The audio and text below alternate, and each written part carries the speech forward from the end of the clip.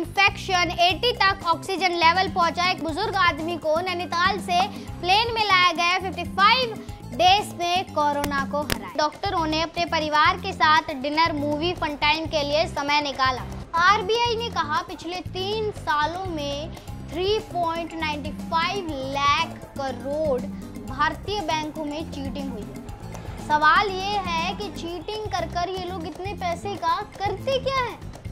Business growth April month में 56.1 percent ज़्यादा हुआ है। हमारे देश का GDP minus seven point three percent हो गया। आप कर क्या रही हो सरकार?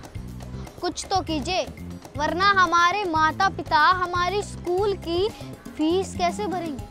चीन में अब तक दो बच्चे जन्म करने की नीति थी, लेकिन अब वो तीन बच्चे जन्म कर पाएँगे, जो कि चीन के राष्ट्रपति जिनपिंग ने कहा है। शहर में आज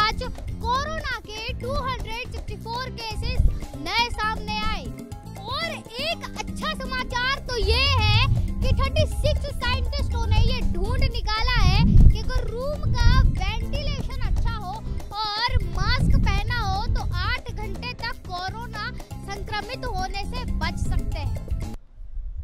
चौदह दिन पहले आया तूफ़ान।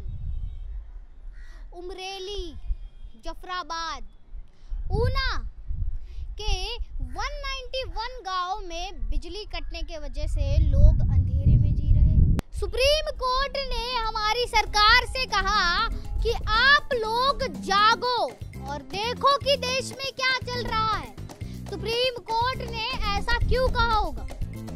इसके बारे में हमारे बच्चा पार्टी न्यूज़ के रिपोर्टर छानबीन कर कर आपसे बात करेंगे अगले एपिसोड में। तब तक के लिए आपसे विदा लेते हैं और मिलते रहेंगे एक बेहतरीन और अच्छे एपिसोड के साथ। तब तक हमारे वीडियोस देखते रहिए और हमारे चैनल को सब्सक्राइब, लाइक और कमेंट करना ना भूलें और please stay home stay safe और हम लोग आपका मनोरंजन करते रहें।